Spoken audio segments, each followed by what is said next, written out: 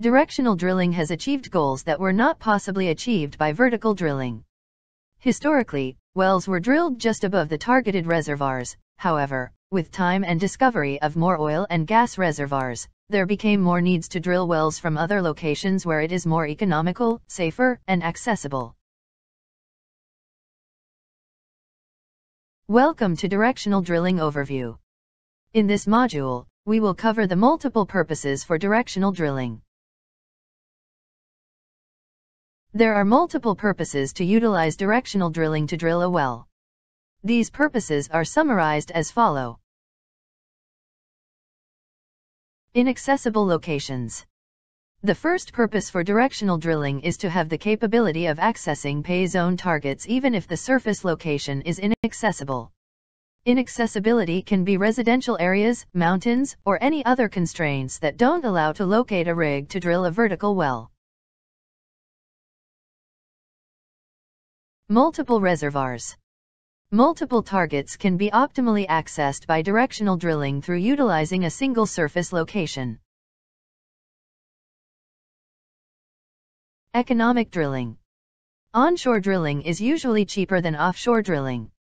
A well can be drilled from land targeting a reservoir beneath the seabed.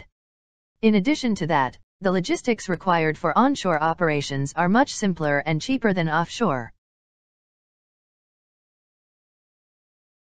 Relief wells. Relief wells are used to kill wells that are on fire by intercepting the borehole with a carefully planned directional well. Thin reservoirs. Horizontal wells can be drilled with high precision to access thin reservoirs.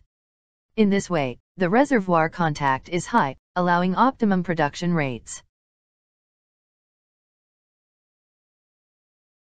Sidetrack from a fish.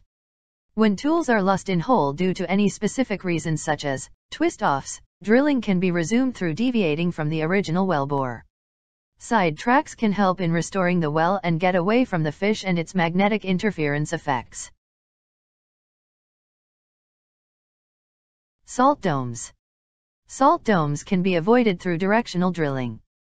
Salt domes are natural traps for hydrocarbons, However drilling through salt domes can lead to major consequences such as hole washout and lost circulation.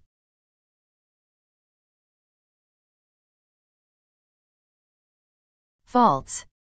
Drilling a well through a steeply inclined fault can cause the bit to deflect when passing through the fault plane or even follow the direction of the fault plane. A directional well can help to drill into faulted subsurface formations without crossing the fault line. In addition to that, Faults can lead to drill through undesired formations, that can cause complete fluid loss as an example. This can also be avoided by directional drilling. This ends Module 1. Thank you for your attention.